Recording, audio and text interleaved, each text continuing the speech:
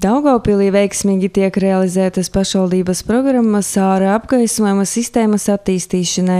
Jau jūnijā ilgi gaidītais apgaismojums parādīsies ar bāzes rajona ielās, tādās kā Kļavu, Ventspils, Kastaņu un Plūmju.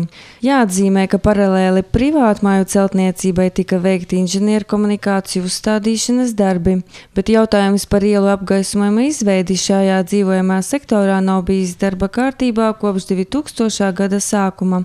Atrisināt apgaismojuma problēmu izdevās tikai pagājušajā gadā, kad patreizējā sasaukuma pašvaldības deputāti nobalsoja par dotā projekta realizēšanu.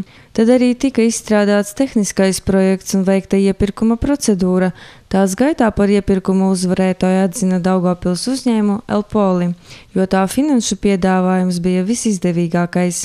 Celtniecības darbi tika uzsākti šī gada marta mēnesī. Apgaismojuma līniju garums ielu perimetrā sastāda 2900 metrus. Projekta realizēšanas ietveros tika uzstādīti 84 ielu apgaismojuma stabi ar ekonomiskām firmas lec puldzītēm.